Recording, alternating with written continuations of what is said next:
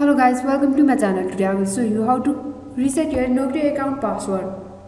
Sometimes you may forget your password. If have forget your password, don't worry, it can be reset.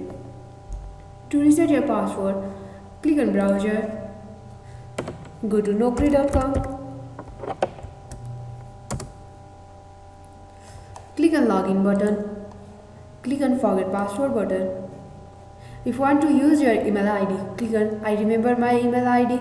If you want to use your username, click on I remember my username.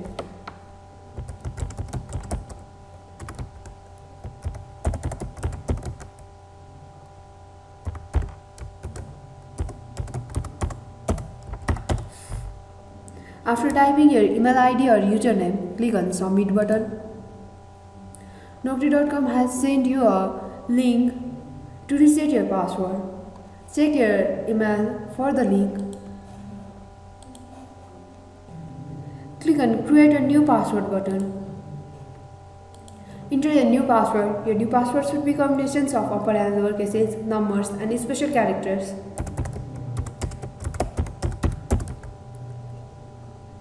Re-enter your password.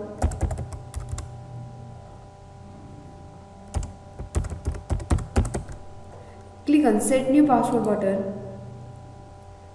Now your Naukri account password has been successfully reset. Thanks for watching. Please subscribe our channel. You